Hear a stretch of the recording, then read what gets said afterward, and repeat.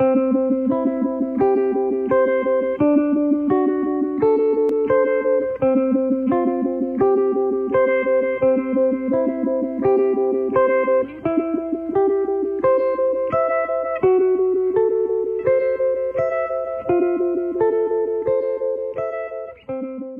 everybody, this is Source Audio, and this is a video tutorial for the Neuro app.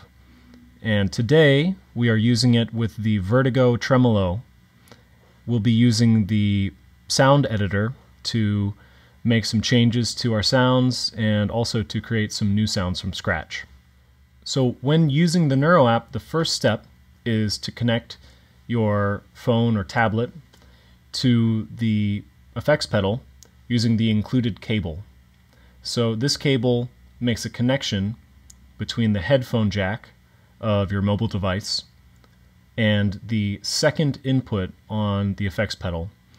So that second input is actually used for two different things. It is the stereo audio input to the pedal, but it also can carry neuro data from the phone uh, to the pedal, which allows you to access some parameters that are hidden underneath the hood. So we'll start with that connection. Connect the cable from the headphone output of the mobile device and connect the other end of the cable to input 2 on the pedal. Once you've done that, open the Neuro app. And the first thing you will see in the Neuro app is a selection of different products that are supported by the Neuro app. So you need to select the proper product that matches what you're using. In this case, I'm using the Vertigo Tremolo, so here it is on the screen. I'll just select that from the list. And now we are in the Vertigo Tremolo editor. And there are three options here. Sound editor, which allows you to make changes to the sounds or create your own sounds from scratch. There's Browse Sounds, which lets you uh, load presets which either you have saved or presets from the factory library or even presets that other users have created. And then hardware options. That lets you change some of the basic ways that your effects pedal will work. In this case, I'm going to use the sound editor just to make some changes to the way the Vertigo sounds. Now, before I make any changes in the app, I'll just start by getting a basic nice sounding tremolo sound uh, from the Vertigo using its knobs and its effect switch. So I think I'd like to hear a nice harmonic trem, and that's the center selection on the effect selector switch. So I'll switch over to harmonic tremolo. And now I'll just use the, uh, the four control knobs to create a sound that I like.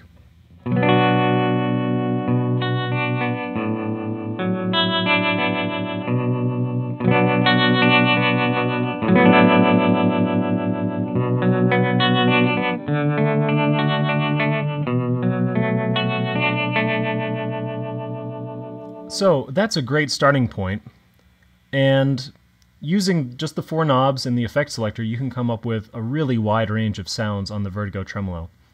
But if you want to go even more in depth, that's what the Neuro app is for.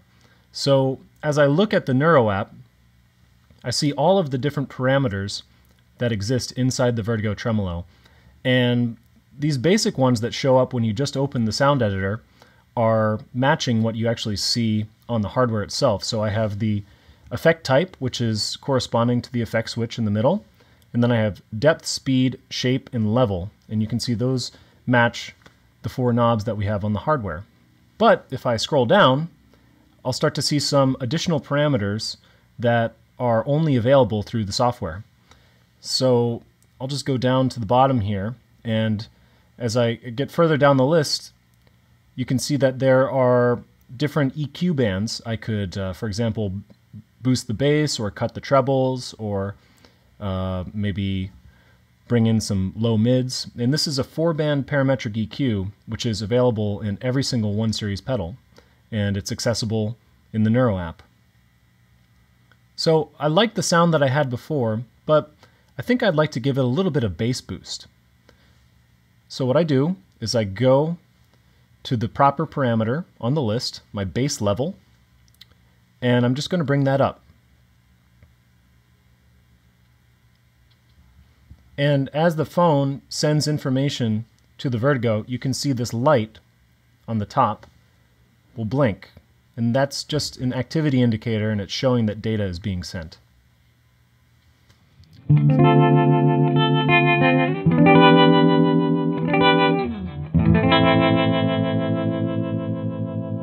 So you might have noticed the Neuro app kind of works like a remote control. The only parameter that changed was the parameter that I modified, the bass level. I haven't made changes to any of these other parameters and so none of them changed. So if I'm happy with this change, I can actually save that right into the hardware. And that means anytime I use the harmonic tremolo in the future, it will have this bass boost that I made. So in order to do that, I will click this Burn button at the bottom of the screen.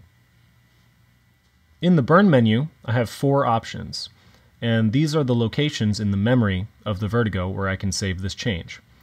So as you can see, I have toggle switch left, toggle switch middle, and toggle switch right and those correspond to the three positions of the center effect selector.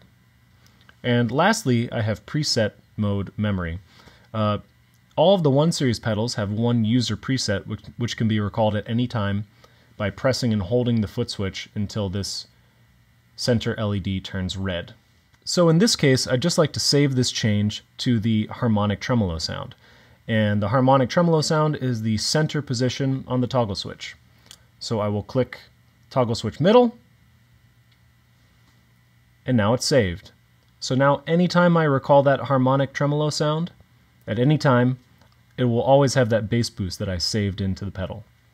Thank you.